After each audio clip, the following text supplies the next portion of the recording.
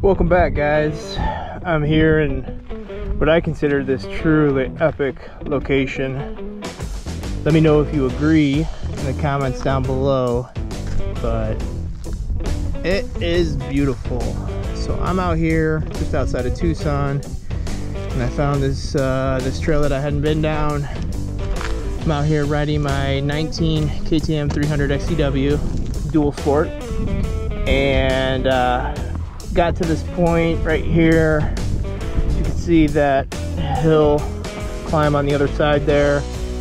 Uh, the trail kind of starts to peter away after going down this hill right here and it is very very loose so I stopped here because I'm gonna wait until I come out here with somebody else so that I have somebody with me and secondly when I get rid of this dual sport tire on the back of here and instead put uh, a more knobby tire on there because this thing is slick as ice out here in the uh, really loose uh, gravel type of terrain. So what I want to talk about today real quick, if you just stick with me, um, I've been testing out my KTM 300 XCW as more of a dual sport. And when I say dual sport, I don't mean that I'm riding this thing around on the road, commuting, um, doing any kind of highway work. Instead, what I mean is a plated dirt bike. A dirt bike that I put a plate on, made sure that I had a, a, stop brake light, some turn signals, some additional lighting up front, an oversized fuel tank, um, DOT tires, and yeah, so, so far, I have been loving this thing as my primary bike.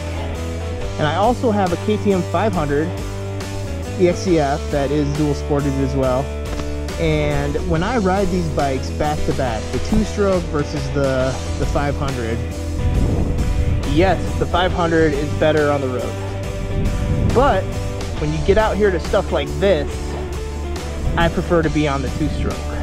So the big question is, would you rather have a bike that performs better on the road and does pretty good off-road or would you rather have something that does eh on the road and does fantastic off-road i prefer the latter and so that's why i'm putting this 19 tpi to the test for a long-term dual sport use and so when i ride out here it's about 15 miles of road work and then there are other times out here in southern Arizona where I might have to hop on the highway for 30, 40, sometimes even 50 miles and uh, cruise to the next off-road section.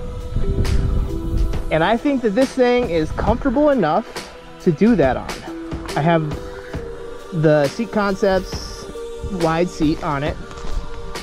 So this gives you a nice platform for your tush.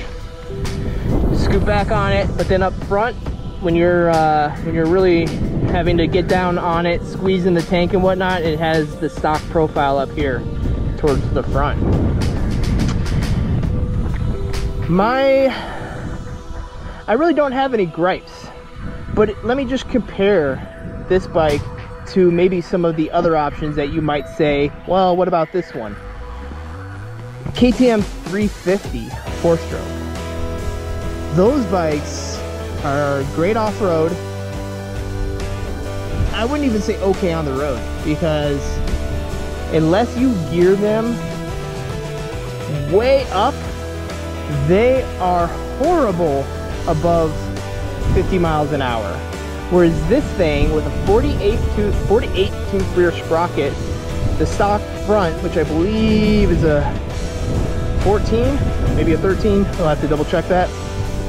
This thing will cruise at 65 miles an hour way better than a 350 four stroke. Probably not as good as the 500 obviously, but it is manageable and it's not it's not horrible. But I have ridden 350 dual sport bikes, the 350 KTMs, and they just are horrible. at cruising on the on the roadway. And that's what a lot of people think. You know, well, the 350 displacement, yeah, the motor's really torquey and it's got good power. But when you start to wind that thing up, man, the vibrations are out of this world. So the KTM two-stroke is counterbalanced. So this thing, 55 is its sweet spot. 55 is nice and smooth. Now I go above 55 and it's almost like the power valve wants to, you know, start to come open. So at about 55, if I continue to accelerate, it just wants to accelerate because that power valve starts to come open.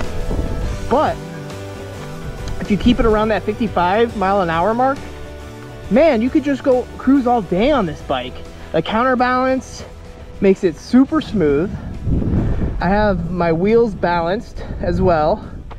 And then I got like these dual sport tires on here. Not not so much the front. The front's just a regular motocross knobby, but it's got a DOT stamp on it. The rear is the Kenda K270. And it does great out here in the rocks, especially when it's brand new. These tires with the tubeless setup, air them down when you get to the to the dirt, and they grip really, really well through the off-road sections. And so this is getting, I mean, it looks pretty good, but it's getting towards the end of its life for me. Um, because now these side knobs are starting to crack and starting to peel away a little bit. And I think that's from airing it down, you know, to around 5 PSI and riding it like that in this uh, more gnarly terrain. But this tire, for the price, is hard to beat. It has a very gummy, you can see the flex in that knob. Look at that thing. And when you air it down, it has a really wide profile and these side knobs just really bite onto the rocks. Sand, horrible. Mud, we don't get that out here that often, horrible. But the rocks, hard pack is not very good either. So it's kind of a toss up. So next tire I'm gonna go with is going to be the IRC MB5 Evo, which multiple people have now recommended for a dual sport application, even though it's supposed to be a soft terrain because it's got really big lugs on it. So I'm gonna put that tire on here.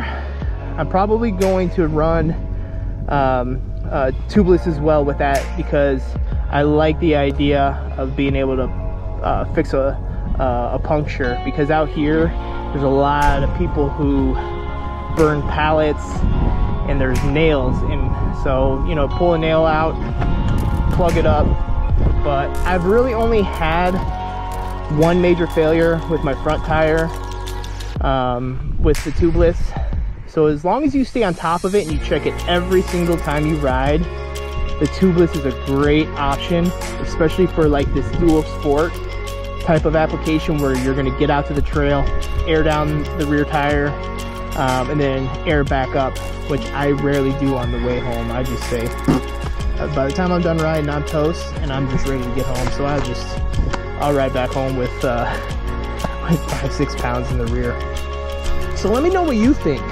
I've had a lot of mixed reviews. Everybody says, yeah, plate your, your 300, but dual sport, no way. I say, you're wrong. Give it a try. Don't think about this like your old two strokes. This is not an old school two stroke. This TPI is ultra smooth. It's got great power. It's a six speed transmission, so it can cruise down the road at a low RPM.